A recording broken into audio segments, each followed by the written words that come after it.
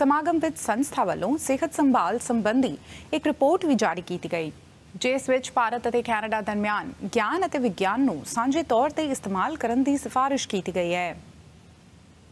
Focus जो है Canada India दोनों को ਸਾਥ साथ में रखते हुए we conducted that health care summit and our partner in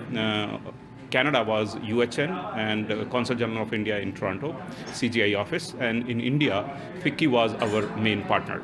Bharat ਅਤੇ ਕੈਨੇਡਾ ਤੋਂ ਸਿਹਤ ਸੰਭਾਲ ਪ੍ਰਣਾਲੀ ਵਿੱਚ ਕੰਮ ਕਰਦੇ ਵਿਗਿਆਨੀਆਂ ਵੱਲੋਂ ਇੱਕ ਅਧਿਐਨ ਕੀਤਾ ਗਿਆ ਜਿਸ ਵਿੱਚ ਮਹਾਮਾਰੀ ਦੌਰਾਨ ਸਿਹਤ ਸੰਭਾਲ ਕਾਮਿਆਂ ਅਤੇ ਮਰੀਜ਼ਾਂ ਨੂੰ ਮਿਲਣ ਵਾਲੀਆਂ ਸੁਵਿਧਾਵਾਂ ਦੀ ਪੜਚੋਲ ਕੀਤੀ ਗਈ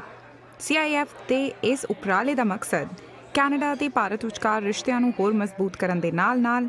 ਦੋਵਾਂ ਦੇਸ਼ਾਂ ਵਿਚਕਾਰ ਗਿਆਨ ਅਤੇ ਵਿਗਿਆਨ ਦਾ ਆਦਾਨ ਪ੍ਰਦਾਨ ਵੀ ਸੀ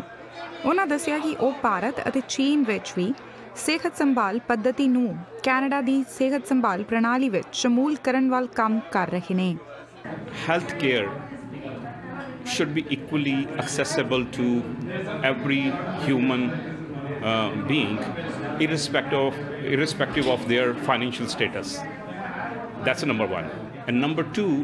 Uh, we have to focus more on the holistic health. We should be able to uh, integrate what is the modern medicine says and also what the traditional wisdom available whether be it you know uh, ayurveda be it chinese herbal medicine or homeopathy you name it yoga UHN ਤੋਂ doctor Paul ਦਾ ਕਹਿਣਾ ਹੈ ਕਿ ਉਹ ਪੂਰਬ ਅਤੇ ਪੱਛਮ ਦੋਨਾਂ ਸਿਹਤ ਸੰਭਾਲ ਵਿਧੀਆਂ ਨੂੰ ਇਸਤੇਮਾਲ ਕਰਦੇ ਹੋਏ ਇਸ ਖੇਤਰ ਨੂੰ ਨਵੇਂ ਆਯਾਮ ਤੱਕ ਲਿਜਾਣਾ ਚਾਹੁੰਦੇ ਹਨ an integrated approach to healthcare is an exciting way forward. That is, we can combine traditional approaches in Eastern medicine with modern medicine from the West, and together we can develop new solutions to tackle common problems, especially chronic diseases, in exciting new ways. ਉਹਨਾਂ ਇਹ ਵੀ ਕਿਹਾ ਕਿ artificial intelligence ਅਤੇ biotechnology ਦੀ ਮਦਦ ਦੇ ਨਾਲ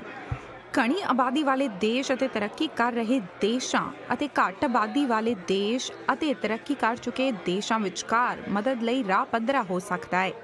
ਇਸ ਦੇ ਨਾਲ ਉਹਨਾਂ ਇਹ ਵੀ ਕਿਹਾ ਕਿ ਸਾਨੂੰ ਬਿਮਾਰੀ ਦੀ ਰੋਕਥਾਮ ਵੱਲ ਕੰਮ ਕਰਨਾ ਚਾਹੀਦਾ ਹੈ